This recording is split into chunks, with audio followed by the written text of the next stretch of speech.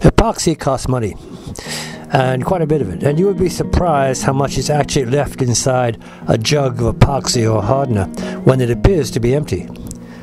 Here's how I get all of my epoxy for my money. It's easy to pour a small amount into a, uh, a full jug, but that's easy.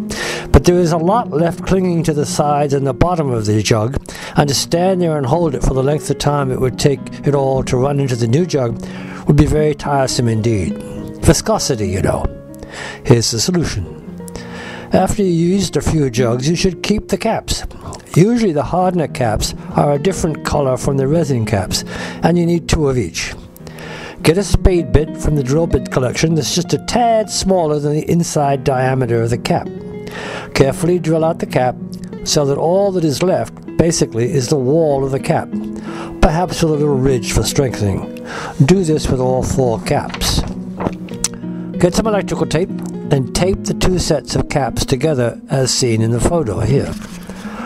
When it comes time to drain a near empty jug, you can see from the photo how this is accomplished. Just screw the two jugs together. Put the full one on the bottom and the near empty one on top, and go away for a day.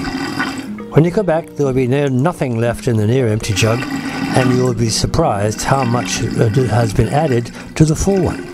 Remember, epoxy costs money. Don't waste it.